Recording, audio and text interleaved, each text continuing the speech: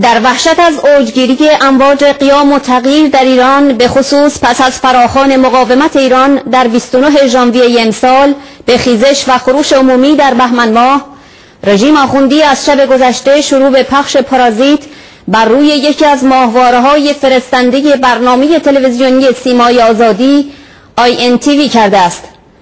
دبیرخانه شورای ملی مقاومت با انتشار اطلاعیه‌ای ضمن اعلام این خبر افزود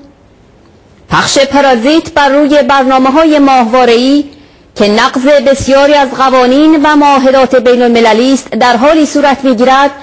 که حملات مستمر پاسداران و بسیجیان به منازل مردم برای جمعآوری دیش های ماهواره‌ای کاری از پیش نبرده و نتوانسته است از استقبال روزافزون از برنامه های سیمای آزادی در بخش های مختلف جامعه ایران جلوگیری کند. به نحوی که کارگزاران رژیم اذعان می کنند که چهل درصد خانه ها سیمای آزادی را نگاه می کنند همزمان با فراخان به تظاهرات اعتراضی و نگران از پیروزی قیام های مردمی در مصر و تونس رژیم آخوندی علاوه بر پارازیت ماهواره‌ای با بستن و یا کند کردن و اختلال در شبکه های اینترنتی و تلفن های همراه مذبوحانه تلاش می کند از گسترش اعتراضات جلوگیری کند.